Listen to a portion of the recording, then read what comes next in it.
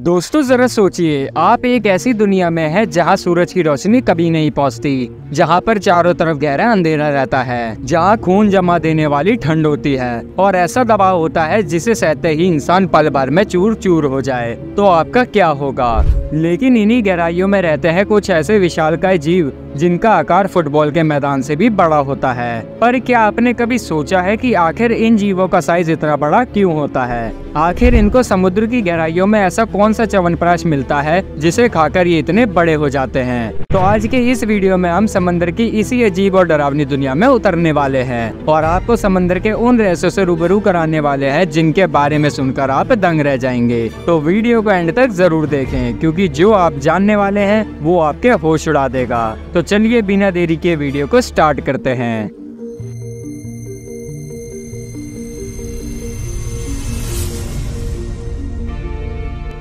हम इंसानों को लगता है कि हम लोग ही धरती के असली राजा हैं। हमारी सिविलाइजेशन दुनिया की सबसे एडवांस सिविलाइजेशन है। हमने दुनिया के हर उस कोने पर अपनी बस्ती बसा ली है जहाँ पर ये धरती इंसानों के रहने लायक थी। बर्फीले पहाड़ से लेकर गर्मीले रेगिस्तान तक। इंसान हर जगह बस चुका है और अपनी आबादी को तेज़ी से बढ़ा रहा है। लेकिन क्या आपको पता है इंसान फिर भी अर्थ के केवल वन परसेंट हिस्से पर ही रहता है? और आपको ये बात हजम नहीं हो रही होगी। कोई बात नहीं, इस वीडियो के बाद हजम हो जाएगी। तो बात यह है कि अर्थ के टोटल बायोमास का जो 78 परसेंट है, वो समुद्र में है। मतलब कि लिवेबल अर्थ का 99 परसेंट पार्ट तो समुद्र में है। और इंसान समंदर के अंदर नहीं रहता, ये बात हम सब जानते हैं। तो धरती के वन परसेंट हिस्से पर रहते हैं छोटे छोटे इंसान। लेकिन जो बाकी का 99 परसेंट हिस्सा है, वहाँ पर रहते हैं बड़े बड़े जानवर। और जब बात समुद्री जीवों की होती है तो आपके दिमाग में आ रही होगी शार्क वेल मछली बदसूरत सौ ऑक्टोपस और खूबसूरत सी मरमेड।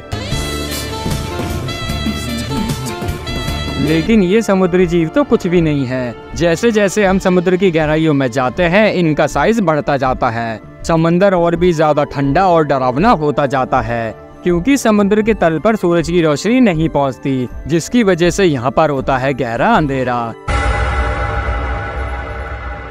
यही समंदर की वो जगह है जहाँ पर समंदर के मॉन्स्टर रहते हैं। जिनकी कहानियाँ हम हज़ारों सालों से सुनते आ रहे हैं, जिसका मतलब है कि इन बातों में कहीं ना कहीं सच्चाई तो ज़रूर है कि समुद्र की गहराइयों में आप जितना नीचे जाते हो, वहाँ के जीवों का साइज़ उतना ही बढ़ता जाता है। एक छोटे से एग्ज़ाम्पल से इसको समझते हैं। ये है जाइंट आइजोपोड ये वुडलाउस जैसा एक छोटा सा कीड़ा है, जिसको आप लकड़ी की जू भी कह सकते हैं, जो धरती पर पाया जाता है, और इसका वज़न एक ग्राम से भी कम होता है। मतलब ये वही छोटे छोटे कीड़े हैं जो धरती पर पाए जाते हैं। लेकिन समुद्र की गहराइयों में इनका साइज़ हो जाता है 40 सेंटीमीटर मतलब ये इतना सा कीड़ा जो धरती पर एक ग्राम का भी नहीं होता, वो समुद्र में जाकर दो किलो का हो जाता है। और ये तो कुछ भी नहीं है। जरा आप इस पर नज़र डालो।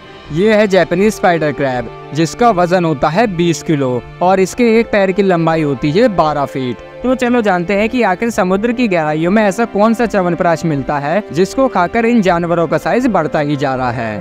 तो देखो, सबसे मज़ेदार बात तो ये है कि अब तक धरती के जितने लोग चाँद पर जाकर चाँद को एक्सप्लोर कर चुके हैं, उससे कई गुना कम लोग मारियाना ट्रेंच की गहराइयों में गए हैं, जिसका मतलब है कि इंसान ने तो अंतरिक्ष को ज़्यादा एक्सप्लोर कर लिया है।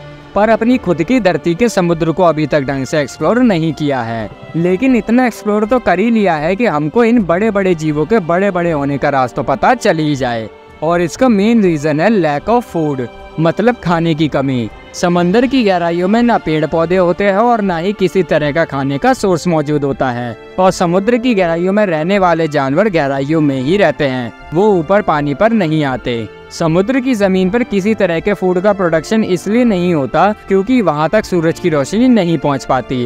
And no sunlight means no photosynthesis and no photosynthesis means no phytoplankton तो अब आपके दिमाग में ये सवाल आ रहा होगा कि जब यहाँ पर कुछ होता ही नहीं है तो ये जीव खाते क्या हैं?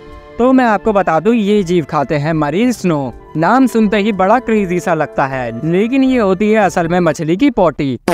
नहीं, इसके अंदर केवल फ़िश शिट नहीं होता, इसके अंदर होते हैं मरी हुई मछली और मरे हुए समुद्री जानवरों के अवशेष, जो पानी में गल जाते हैं। इसके अंदर होता है बहुत सारा कचरा और बहुत सारा फ़िश शिट और जब ये सारी चीज़ें घुलकर समुद्र के तल पर गिरती हैं तो ये बर्फ़ी तरह दिखाई देती है। व्हाइट कलर के छोटे छोटे गोले होते हैं, जिन्हें खाकर ये डीप सी क्रीचर्स अपना साइज़ बढ़ा रहे हैं। बेसिकली ये जो स्नो होती है, इसके अंदर कोई पौष्टिक आहार नहीं होता। मतलब कि क्या होता है, इसकी क्वांटिटी बहुत कम होती है। और समुद्र की गहराइयों में ये कब खाने को मिले, इसका भी कोई टाइम टेबल नहीं होता। मतलब डीप सी में खाने की भयंकर कमी होती है। और इसी प्रॉब्लम का सोल्यूशन जानवरों ने निकाला अपने साइज़ को बड़ा करके।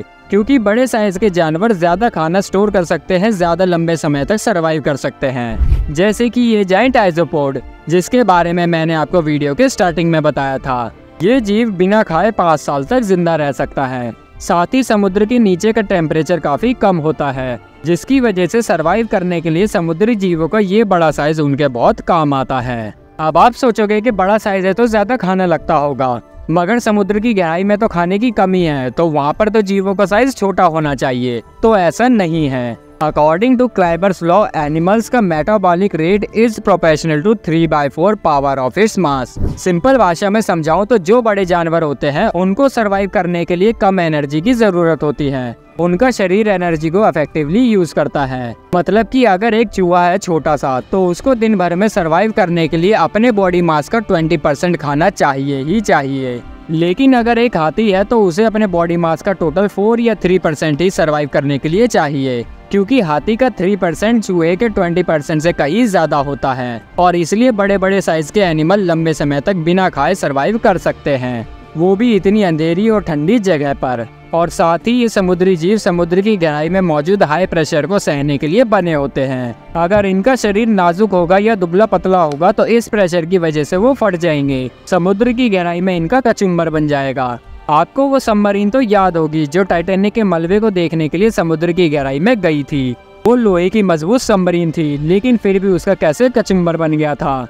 सोचो इतना ज़्यादा प्रेशर होता है समुद्र की गहराई में, और इतने प्रेशर को सरवाइव करने के लिए अच्छा हट्टा कट्टा शरीर ही चाहिए। तो इन जानवरों ने अपने आप को समुद्र की गहराइयों के हिसाब से ढाल लिया है। इनकी उम्र धीरे धीरे बढ़ती है। ये सौ से डेढ़ सौ साल तक ज़िंदा रह सकते हैं, और इनका साइज़ समय के साथ साथ बढ़ता जाता है। और यही रीजन है कि धरती के नीचे इतने बड़े बड़े साइज़ के जानवर मिलते हैं। जिनकी धरती के ऊपर वाले लोग कल्पना भी नहीं कर सकते। लेकिन कल्पना करने की ज़रूरत नहीं है, क्योंकि आपका भाई बैठा है आपको हर चीज़ डिटेल में बताने के लिए। सोचिए, हमारी धरती का इतना बड़ा हिस्सा अब भी हमारी पहुँच से बाहर है। और वहाँ छिपे विशाल जीव और उनके रहस्यमय जीवन हमें समय समय पर चौंकाते रहते हैं। ये अद्भुत दुनिया हमें हर बार ये एहसास दिलाती है कि धरती पर हमारे ज्ञान की सीमाएँ कितनी छोटी है। तो आज के वीडियो में बस इतना ही। अगर आपको ये वीडियो पसंद आया हो तो वीडियो को लाइक करें और, और अपने दोस्तों के साथ शेयर करें। और कमेंट करके ज़रूर बताना आपको ये वीडियो कैसा लगा। और ऐसी ही और भी रोमांचक कहानियों के लिए हमारे चैनल मिस्ट्री ऑफ़ को सब्सक्राइब करके बेल आइकन को भी प्रेस करें ताकि अगला रोमांचक वीडियो आप सबसे पहले देख पाएँ। हम जल्दी ही मिलेंगे एक नई रहस्य के साथ। तब तक आप अपना और अपने परिवार का ध्यान रखें।